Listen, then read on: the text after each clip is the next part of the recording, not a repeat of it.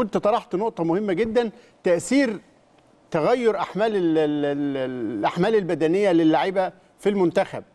على عملية الإصابات هل الإصابات ناتجة عن إنك أنت الأحمال البدنية الموزعة على اللعيبة في المنتخب ليها تأثير ولا لأ في في الإصابات الحقيقة اللي لافتة جدا؟ معنا على الهاتف الدكتور وليد عبد الباقي طبيب الأهلي السابق. دكتور وليد أهلا بيك. أهلا أهلا أستاذ إبراهيم زي الأحوال؟ تحياتي وتحيات المهندس عدلي. الله يوصل له تحياتنا يعني. إحنا نسعد ان إحنا نبقى معاكم النهارده يعني. ربنا يخليك يا دكتور. دكتور وليد. طرحنا سؤال إيه مدى تأثير آه، اختلاف الأحمال البدنية بين اللعيبه لعيبة المنتخب في الأندية بتاعتهم لما بيروحوا المنتخب؟ هل هل أهو. تغير الأحمال البدنية وجرعاتها سبب من أسباب الإصابات؟ الأول هل في تنسيق بيبقى بين المخ... ال- ال- ال- مخطط الأحمال هنا ومخطط احمال النادي في تقرير بيتاخد من الأندية؟ هو دي النقطة اللي عايز أتكلم فيها يعني دي دي أهم حاجة في الموضوع إن ال- المشكلة إن إن اللي بيقع عليه التدريب هو اللاعب، واللاعب ده مشترك ما بينهم جميعا. لازم يبقى في تواصل ما بين الأجهزة سواء أجهزة المنتخب والأندية أو لو كان بيلعب اللاعب كمان في منتخب ناشئين وبيلعب في نادي مثلا في أكتر من فرقة في النهاية اللاعب هو اللي بيقع عليه الحمل التدريبي. لو ما فيش تنسيق ما بين ال- المدرب وما بين المدرب اللياقة أو الأحمال ما بين ال- الأماكن وبعضها هيبقى في النهاية ال- اللي عليه ال- اللوم أو اللي هيقع عليه الإصابة هو اللاعب. فبالتالي لابد من من وجود تنسيق ما بين ال ال الأجهزة المختلفة علشان نبقى نوصل في النهاية لحاجتين. الحاجة الأولانية إن إحنا نقنن الحمل اللي هيقع على اللاعب. وإن إحنا نقدر نحدد الفروقات الفردية ما بين اللاعب والتاني. لأن في أندية بيبقى فيها أحمال أندية بيبقى فيها أحمال أعلى مدربين مختلفين في كل الأندية مدربين أحمال مختلفين. في النهاية عايزين نوصل لتقنين حمل جيد علشان ما يبقاش في حد عندنا مصاب. النقطة الثانية إن إحنا نوصل للتوازن اللي المفروض نحققه ما بين الحمل البدني وما بين اللياقة البدنية وما بين فترات الراحة والاستشفاء. لأن في لعيبة مثلا بتشارك في منتخب شباب وبيلعبوا في ناديين ممكن يشاركوا في فرقتين فرقة أكبر وفرقة أصغر. فبالتالي يعني كده بيلعب كتير. هل هو فعلا آه، في حد مسؤول عن إن هو يقنن له الحمل اللي المفروض يبقى يبقى بيقع عليه؟ فترات الاستشفاء بتاعته أو فترات الراحة؟ المفروض الحاجات دي تبقى في تنسيق عشان في النهاية ما يحصلش إصابة للاعب. الجزئية الثانية إن إحنا برضو عندنا مشكلة في معايير التقييم البدني. يعني يعني ممكن اللاعب يبقى فترة إعداد في النادي وبعدين يروح المنتخب فيتقال لا ده محتاج إعداد تاني إحنا هنعمل له إعداد تاني وهكذا. فبالتالي يعني إيه المعايير بقى؟ يعني إحنا بنخضع إحنا لمعايير آه، فردية ولا بنخضع لمعايير بأجهزة ولا يعني إيه المعايير اللي بتحكمنا؟ يا دكتور دلوقتي آه، بالكلام- والكلام على المعايير. في نعم. فترة ما أنا كنت مسؤول عن النشاط الرياضي في النادي الأهلي وبعدين تواصلت مع المركز الأولمبي اكتشفت إن في أجهزة لقياس الأداء العضلي. عشان يقول العضلة دي صغيرة العضلة دي كبيرة. عشان يبقى أسرع يبقى نمي العضلة دي. القبضة بتاع يعني كان في عندنا أحد الرماة الأبطال أفريقيا والتحليل ال- العلمي طلع إن قبضته ضعيفة على رمي القرص. فتخيل يعني ده يعني نعم. أنا كنت في لقاء من حوالي أسبوعين كده في في القناة وكنا يعني اتكلمنا برضو من فترة على إن إحنا إحنا كنادي أهلي كان نفسنا إن إحنا نعمل وحدة قياسات. وحدة القياسات ديت في جهاز اسمه isokinetic study وفي جهاز لل balance نقدر إن إحنا عن طريق الأجهزة ديت على الأقل يبقى في عندنا فكرة علمية لتوزيع الكتل العضلية وقوة القوة الكتل العضلية والتوازن ما بينها. إحنا طبعا يعني يعني نقدر نعمل كده بشكل علمي يبقى معاها الجزء البشري. في التقييم وده لابد هيبقى موجود لأن إحنا صعب إن إحنا نلغيه. ده لابد إنه هيبقى موجود. لكن يبقى مصحوب بيه جزء علمي في إن إحنا نقدر نقيم الكتل العضلية وقوتها وتوزيعها. فأنا شايف الابحاث دي يا دكتور؟ تقدر تتنبأ عن احتمال تعرض العضلات للاصابه أو أو تقلصات الطويلة؟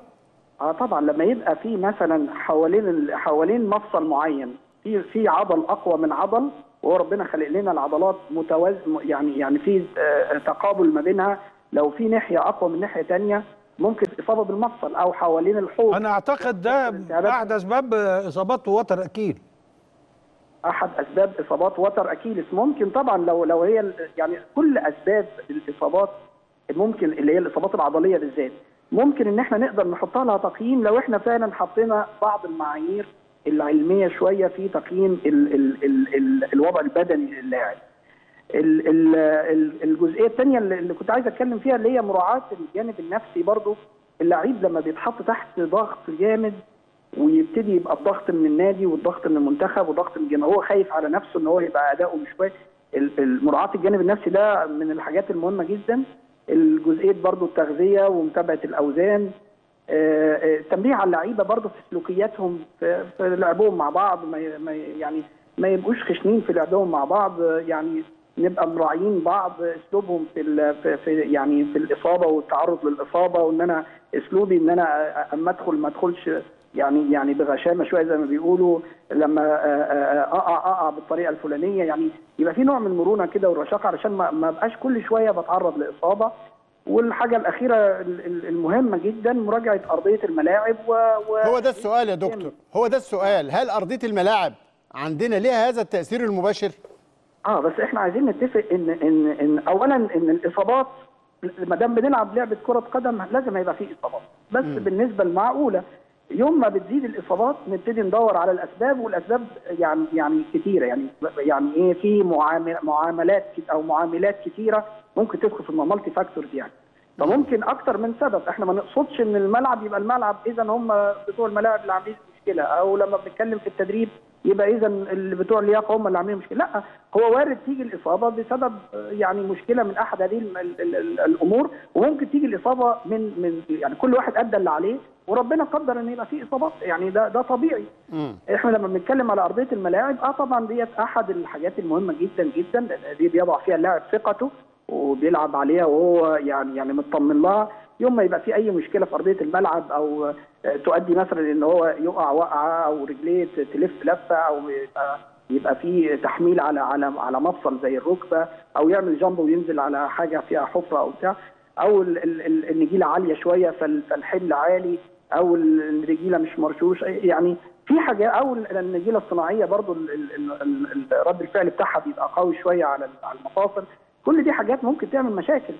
ال- ال- الحاجة الأخيرة برضو إن إحنا لازم نعمل معايرة لأجهزة الجيم اللي إحنا بنلعب فيها أو اللي إحنا بنعمل فيها ال fitness أو اللياقة البدنية لأن برضو الأجهزة دي في النهاية أجهزة مصنعة فلابد إن يبقى في معايرة دورية وأنا أظن إن الناس المسؤولين عن الجيم بيعملوا. أنا طبعا إحنا ما نقصدش حد بعينه أو نقصد إن في مشكلة جاية من ناحية محددة. إحنا بنقول كل الع- العوامل التي قد تؤدي إلى حدوث الإصابة. علشان نحاول إن إحنا نتجنبها أما إنها هتحدث آه هتحدث ده قدر الله. إحنا بنتكلم بس إن إحنا عشان ما تكترش الإصابات عشان ما. تطولش الإصابات علشان آه ما تتكررش الإصابة في نفس المكان. هي دي الحاجات اللي تخلينا نبتدي نلاحظ. دكتور وليد. الله يكرمك. في في في عامل فاكتور الن- الناشئ. هل الناشئ في الأندية بيطلع متأسس عضليا صح؟ طبعا الناشئ بيطلع متأسس عضليا آه، آه، صح حسب ال- ال- ال- اللي تعرض له على على مراحل عمره بس هو الناشئ يعني يعني المستهلك على ما بيكبر يعني بيبقى خاصة لو لو يعني يعني يعني بيلعب في أكتر من فرقة مثلا الفرقة الأكبر والفرقة الأصغر. لو تعرض لإصابات كتيرة في أثناء حياته طبعا على ما بيوصل للسن ال- ال- الكبير يعني بيبقى مستهلك شوية. لكن هو لو هو آه، يعني مشي ومر في- مراحل ال- ال- ال- ال- الأولانية من عمره واستطاع إن هو آه، يبقى تحت تدريب مقنن ويبقى ما فيش اصابات وطبعا بيبقى مؤسس بدنيا وخبرة ومهارة آه، بيبقى في اعلى أعلى حاجة ممكن يستفاد منها. لو هو فعلا مر ومؤسس بشكل جيد وبالتالي الاهتمام بالناشئين في التأسيس وفي المتابعة ده أمر مهم جدا جدا. لأن أنا ممكن في النهاية آه، يعني أقدم لعيبة في منتهى الخبرة والاحتراف والثقة والأداء البدني. تمام يا دكتور متشكرين جدا على تواجدك معانا. ويعني أثرت لنا أنا اللي سعيد يا باشمهندس. الجانب. العلمي وده كان مهم جدا. نشكرك. أكرمكم. الله يعني يا أستاذ إبراهيم أهو يعني شكرا للدكتور وليد عبد الباقي. كل دي